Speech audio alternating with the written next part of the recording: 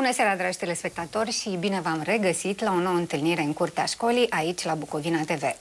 Ne revedem pe 15 noiembrie, mijlocul uh, lunii noiembrie, prima zi uh, a postului Crăciunului, moment poate pentru unii de a se gândi uh, spre a face mai multe fapte bune, să cu cei care au nevoie de ele, dacă sunt, uh, mă gândesc că toată lumea are nevoie de fapte bune, uh, dar uh, această, acest început de post uh, poate Uh, o dată în plus uh, ne determine să fim mai buni. Emisiunea din seara aceasta ne dorim uh, și ea să fie mai bună. E o emisiune în care am două invitate speciale, reprezentante ale unei instituții de învățământ importante din municipiul nostru. Vom vorbi despre proiecte îndreptate spre comunitate, dar până la a vă prezenta cine sunt invitatele din seara aceasta, vom face, așa cum am obișnuit, traseul printr-un calendar al zilei de astăzi, astăzi.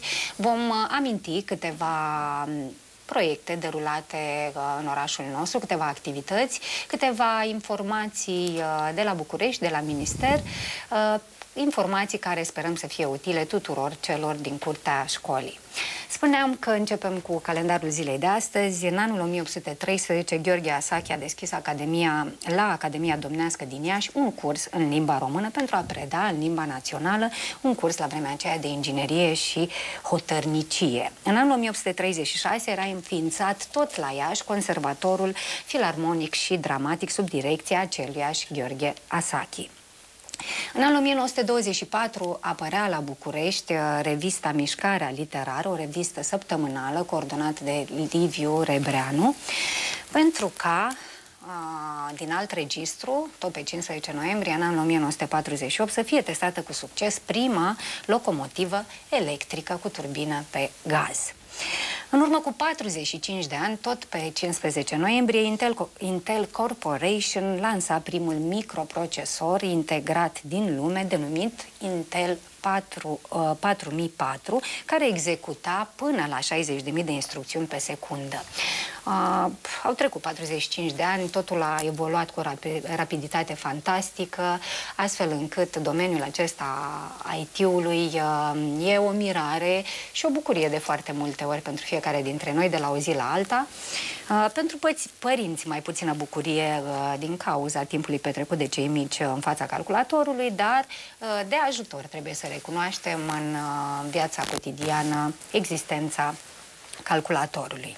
Tot pe 15 noiembrie, în anul 1987, la Brașov avea loc manifestația spontană a muncitorilor de la uzinele Roman împotriva uh, regimului ceaușist de la acea vreme, manifestații la care s-a alăturat o mare parte din populația orașului. Era momentul, sau cel puțin așa consideră istorice, este momentul în care uh, s-a dat uh, startul uh, evenimentelor ulterioare, cele care aveau uh, loc uh, doi ani mai târziu. Să vedem pe cine sărbătorim pe 15 noiembrie. În anul 1845 se năștea Vasile Conta, filozoful și poetul român, om politic uh, important. În anul 1868, pe 15 noiembrie, s-a născut Emil Racoviță, mai cunoscut cu siguranță celor din curtea școlii, pentru că, uh, pe lângă faptul că a fost membru al Academiei Române, în urma meritelor uh, pe care le-a avut în domeniul cercetărilor făcute, a fost unul dintre fondatorii bios biospeologiei, fondatorul biospeologiei uh, în România, explorator al Antarcticii și, bineînțeles, biolog. Să mai marcăm uh, o, un eveniment, de data aceasta trecerea în neființă pe 15 noiembrie, în anul 1932, uh, a unui uh, erou în războiul de independență și dacă am să zic Constantin Țurcanu, cu siguranță nu știe sau nu a auzit uh, foarte mult, dar dacă spun Peneș Curcanu, uh, deja uh, cei din curtea școlii știu despre cine uh, vorbesc. Am vrut să marchez să spun uh, despre acest lucru, pentru că sunt mulți care îl studiază pe Vasile Alexandrii și poate cred că sursa inspirației nu a fost întotdeauna uh, reală, dar iată, Peneș Curcanul uh, e porecla celui de care vă spuneam, Constantin Țurcanu, a luptat uh, în acest război de independență și merita, cred eu, să amintim uh, astăzi și de el. Să vedem ce sărbătorim în perioada imediat uh, următoare. Uh, pe 16 noiembrie se marchează Ziua Internațională pentru Toleranță, pe 17 noiembrie Ziua Internațională a Studenților, pentru ca pe 19 noiembrie în România să se marcheze Ziua Cercetătorului și Proiectantului la nivel uh, internațional, precum și Ziua Internațională a Bărbatului, cel puțin așa am găsit eu. Acum, ziua asta a bărbatului am tot regăsit-o de-a lungul anului. Um, pe 19 noiembrie, cum spuneam, putem marca bărbații din viața noastră să îi sărbătorim într-un fel sau altul. Pe 20 noiembrie, Ziua Universală a Copilului, pentru ca pe 21 noiembrie să marcăm Ziua Internațională a Filozofiei. Cu siguranță Ziua Toleranței, marcarea uh, acesteia se va face în curtea școlii de către profesori, dacă nu prin uh, evenimente deosebite, activități, cel puțin e bine să amintim despre uh, necesitatea toleranței în viața fiecăruia dintre noi. Mergem mai departe, înainte însă vreau să mulțumesc celor care sprijină în fiecare săptămână emisiunea noastră. Este vorba de uh, salonul Perfect Style, de doamnele de la acest salon, Anca Accente, Maria Ciobanu și Anca Mihailov. Le mulțumesc pentru sprijinul pe care ni-l acordă în fiecare săptămână. Da, spuneam de ziua toleranței uh, pe care o marcăm uh, pe 16 noiembrie. De fapt, toată această perioadă este una uh, în care se desfășoară sau ar trebui să se desfășoare activități diverse pentru că este cea de-a 13-a ediție a săptămâni, Săptămânii Globale pentru Educație. Noastră urmăriți niște imagini pe ecran în care copilași de la școala gimnazială Ion Creangă din clasa pregătitoare au marcat în avans ziua toleranței ei, prin diferite activități, uh, au desenat, așa cum era și firesc la vârsta lor, și într-un dialog pe care l-au purtat la școală, au aflat despre aceia care nu știau despre existența oamenilor uh, care au cultură diferită de a noastră, culoarea pielii diferă uh, și au putut să se laude la sfârșitul uh, activității că au învățat uh, lucruri noi, că au învățat să fie mai toleranți unii cu ceilalți, uh, nu neapărat uh, toleranți cu oameni uh, aflați la distanță, ci în primul rând, uh, de ce nu chiar cu colegii de clasă. Spuneam despre săptămâna educației globale aflată la cea de-a opta ediție, uh, un program facilitat de Centrul Nord-Sud al Consiliului Europei, care se desfășoară în perioada 12-20 noiembrie anul acesta cu tema Împreună pentru pace. Este o săptămână în care, spuneam, se desfășoară în școli tot felul de activități cu scopul de a conștientiza uh, în lumea aceasta globalizată în care trăim că fiecare dintre noi avem un rol uh, important uh, pentru că suntem cetățeni ai acestei lumi. Mergem mai departe, de data aceasta câteva informații uh, de la București. Uh, probabil că profesorii au aflat că e oficial, vor primi salarii mai mari cu 15% din data de 1 ianuarie 2017. Pe mine vestea aceasta uh, nu mă bucură așa complet, pentru că am senzația că e doar uh, o decizie pe care au luat-o uh, la București, uh, tocmai pentru că, așa cum știm, a început uh, campania electorală. Uh, îi dau dreptate de data aceasta primului ministru care se îndoia Uh, de legitimitatea acestei uh, decizii, uh, spunând că e aproape imposibil ca parlamentarii să nu fi știut de existența legii responsabilității fiscal-bugetare, potrivit cărea, înainte cu șase luni de alegeri, nu se pot lua astfel de măsuri prin care se măresc salariile diferitelor categorii sociale. Dacă ar fi să se pună în aplicare, din 1 ianuarie 2017 cresc, așa cum spuneam, cu, 17%, cu 15% salariile profesorilor, școlilor, salariile personalului auxiliar, uh, salariile uh, personalului administrativ din școli, precum și a celor care uh, sunt angajați în domeniul asistenței sociale. Să nu ne grăbim, să ne bucurăm, așa cum spuneam, se va vedea ce se va alege din această decizie. O altă decizie, de fapt e o propunere, încă nu s-a votat, o propunere care ar putea modifica din temelii legea educației naționale, se referă la reintroducerea dublei specializări pentru absolvenți. Mai exact, universitățile ar trebui să re revină la dubla specializare oferită absolvenților, lucru care ar ajuta cadrele didactice să răspundă mai bine nevoilor sistemului de învățământ gimnazial. Se pare că cei din minister au uh, și-au dat seama în cele din urmă că numărul uh, celor care intră în învățământ este într-o scădere drastică, există din ce în ce mai puțini profesori pentru gimnaziu și ei consideră că prin această măsură s-ar putea uh, îmbunătăți uh, această situație, o dublă specializare ar putea crește numărul uh, profesorilor calificați uh, din uh, învățământul gimnazial și nu numai. O altă informație ține de uh, toate școlile, toate unitățile de învățământ. Se pare că toate clădirile în care își desfășoară activitatea unitățile de învățământ urmează să fie verificate în perioada următoare de Ministerul Educației și Ministerul Dezvoltării Regionale. Se dorește să se realizeze o listă a clădirilor școlare pentru a se stabili de ce tip de intervenție are nevoie fiecare pentru a primi avizele de la ISU și de la autoritățile sanitare. Știm că sunt multe școli în învățământul preuniversitar uh, care au această problemă, uh, nu au avizul sanitar, sunt câteva și în municipiul Suceava care nu au uh, cel puțin avizul de la ISU. Se dorește o, așa cum spuneam, o realizare a listei acestor unități școlare. Să sperăm însă că se vor lua și niște uh, măsuri, astfel încât uh, elevii, profesorii și nu numai ei să se simtă în siguranță de plin atunci când vin la școală, iar uh, actul educativ să se desfășoare uh, în cele mai bune condiții. Uh, mi-am mai notat aici o idee legată de faptul că s-a stabilit că 40 la, 42% dintre elevii cu vârste, cu, uh, cu vârste de 15 ani uh, sunt analfabeți funcționali. E o veste destul de tristă, dar cred că nu miră pe nimeni. Uh, analfabetismul funcțional se referă la modul în care un elev reușește să înțeleagă ceea ce citește, să citească conștient, nu doar să descifreze un text, să-l citească într-un anume ritm, important este să și înțeleagă.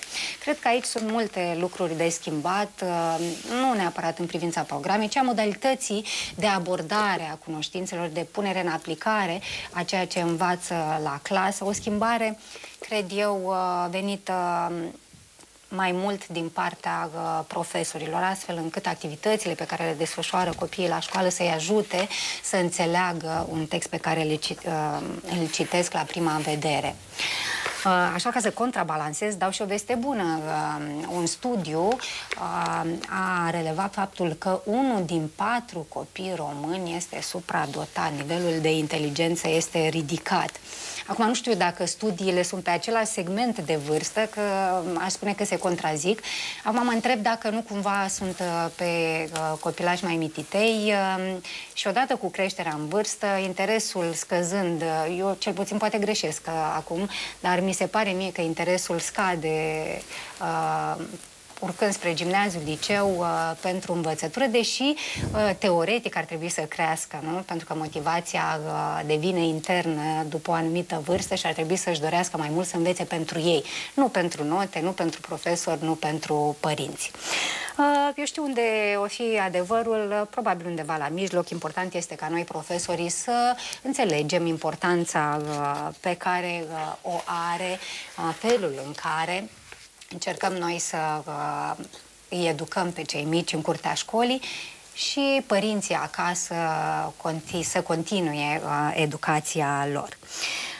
Am să mai spun încă două lucruri. Ordonanță de urgență uh, înaintată de, guv- uh, de Guvernul României aduce noi modificări în sistemul de învățământ care vor reglementa școlarizarea ele- elevilor cu nevoi speciale.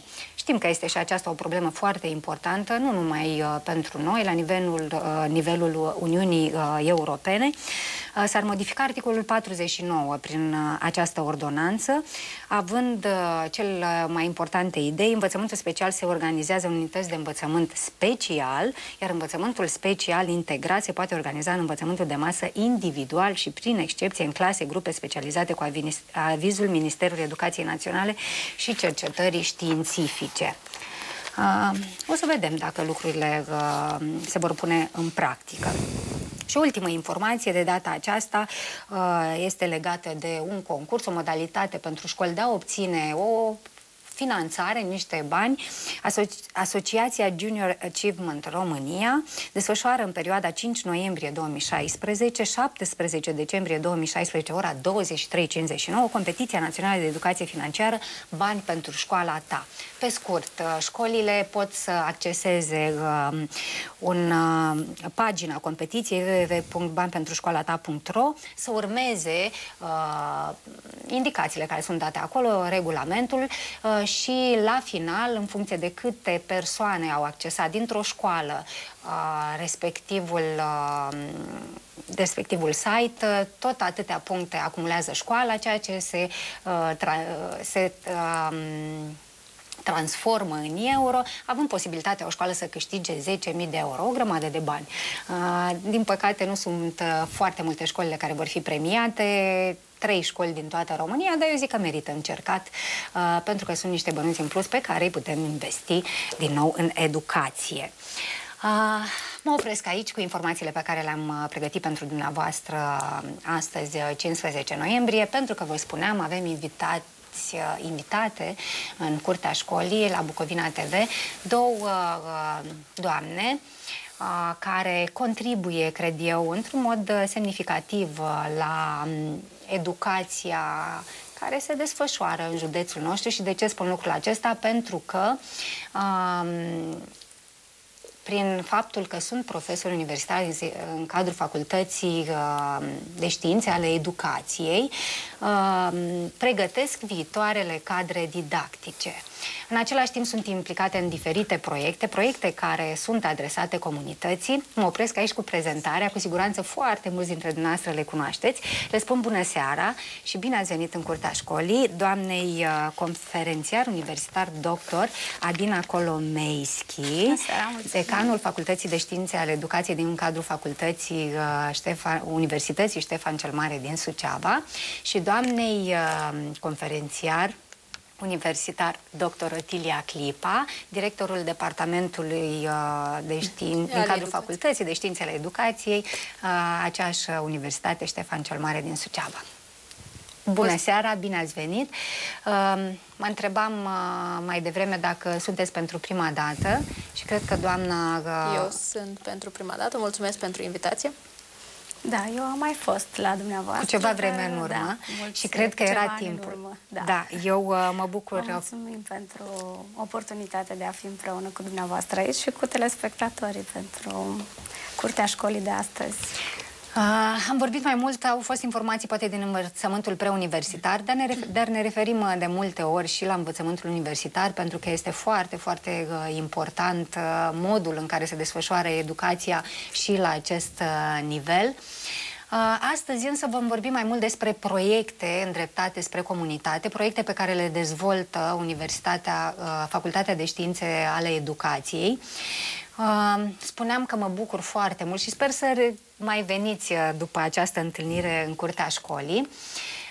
Doar o idee, pentru că urmează o scurtă pauză de publicitate, pentru ca mai apoi să uh, dezvoltăm o idee legată tocmai uh, de rolul pe care îl poate avea Facultatea de Științe ale Educației în acest triunghi despre care noi tot vorbim aici, comunitate, școală, familie.